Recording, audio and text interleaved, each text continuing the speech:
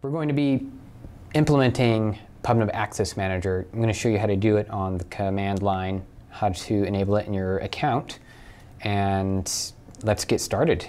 First, go to your account, log in, and then you'll have access to what you see here on my screen. And on my screen, I have the name of my app, uh, the name of my key, and how much money I'm paying for the key, and then three specific API keys, very important to PubNub, publish key, subscribe key, and the super secret key. The secret key is critical when it comes to Access Manager.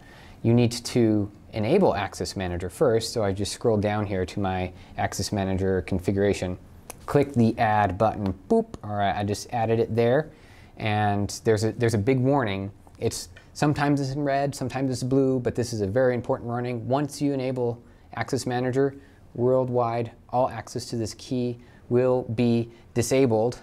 And you need to then, at that point, grant access to all of your connected clients and give them an auth key. So here we go. I just enabled Access Manager. Now I need to grant permissions before I'm able to send or receive data. Now that I've enabled Access Manager, uh, we need to walk through how you grant access and pass an auth key to the client as well as how to use that auth key and send and receive data over PubNub. So first, try the new debug console. Now you've got a default channel that is specifying a UUID and the auth key, but I haven't granted access with any auth key, so there's an undefined auth key, so I need to do that first. So let's see here, I can click this Access Manager button, this little lock icon here. I'm under the grant section. Now You've got two parameters that you can type in a string. That's the channel name and the auth key. And the auth key is anything you want. It could be ABC, or it could be a very long, unpredictable string, such as your session ID. Now that's what it should be. But for simplicity, we're going to make it something like cheese.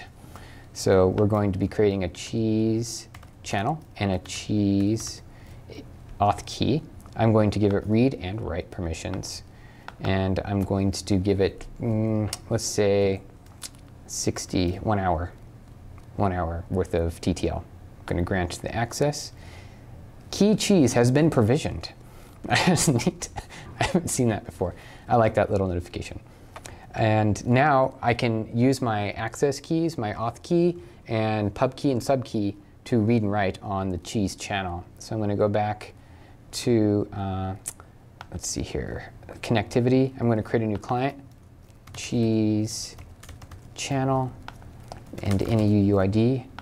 It's just some sort of client ID uh, that's used in presence, covered in a previous episode. And then I pass my cheese auth key. I'm going to add a client, and I am subscribed with my cheese. It's worked. Oh, that's so cool. that's very satisfying. I've granted myself access to the cheese channel using cheese auth key. I can also publish data using the cheese auth key, and I can send message. And as you can see, it successfully sent, and I received my own message. We walk through Access Manager using the debug console, granting access on the cheese channel using the cheese auth token. We're going to do this in code now, essentially what you do on your server through your business rules.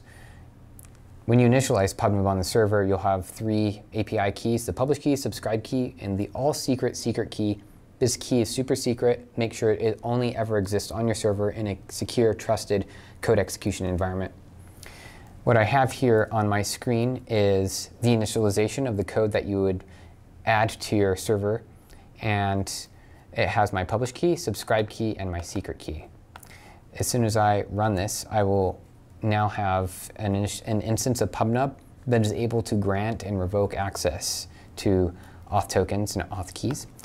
Now, I'm going to execute a grant line here on my console using the cheese channel, the cheese auth key, read true, write true, TTL of 60 seconds.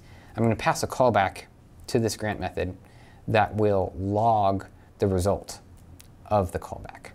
Now I'm going to run this, and voila, success.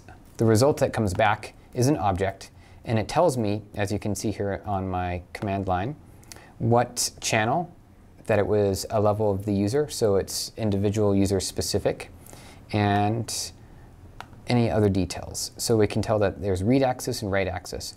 So we're concluding this, this course with PubNub Access Manager. We covered authorization and authentication. We covered how Access Manager allows you to control the permissions for read and write access on data channels. We also talked about initializing a server-side SDK with the secret key that allows you to create permissions via grant method in the SDK. And as you pass the auth token to the client, the client is then able to connect to PubNub on data streams to read and write access. Thank you for watching, and yeah.